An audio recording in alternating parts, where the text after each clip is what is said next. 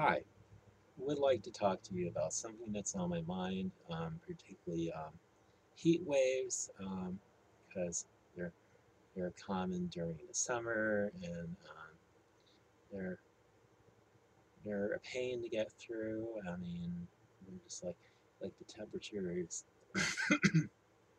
temperature is so high um, outside the, the you can fry eggs. yeah, I know you heard that many times before, but uh, it's like mean, we're go we're going through um, droughts. Um, very very little wa water in the uh, Westfield River. Um, and um, we just, well, we just we just need to um, stay cool as much as possible during during um, heat waves to uh, to stay in the air conditioned room, drink plenty of water, wear loose fitting clothing, and um, basically not not um, exert yourself so much. Mean, just yeah.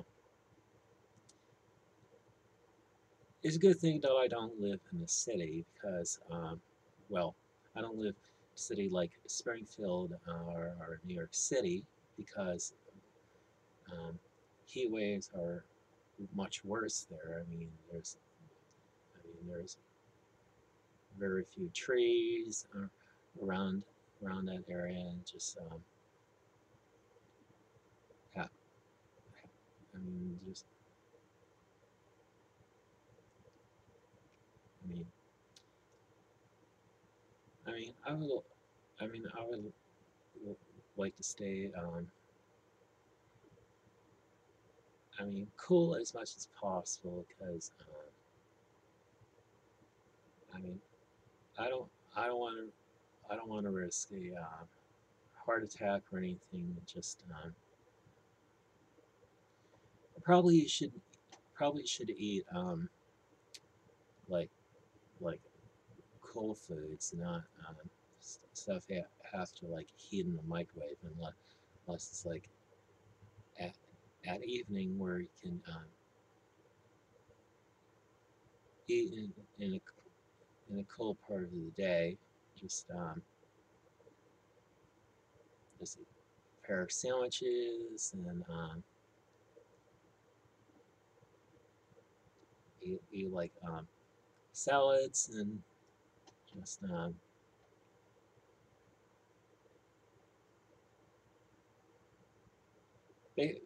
but don't but don't pig yourself out. I mean, just um,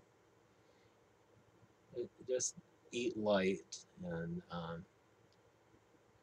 don't don't don't use alcohol because that that's going to make you pass out and um, that, I mean that's real dangerous um, in, in um, summer heat just um,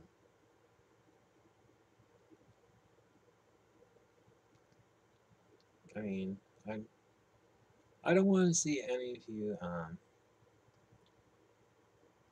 go to the hospital um, for like heat stroke or heat exhaustion. Just, mean, just stay cool. I mean, place where you live and um,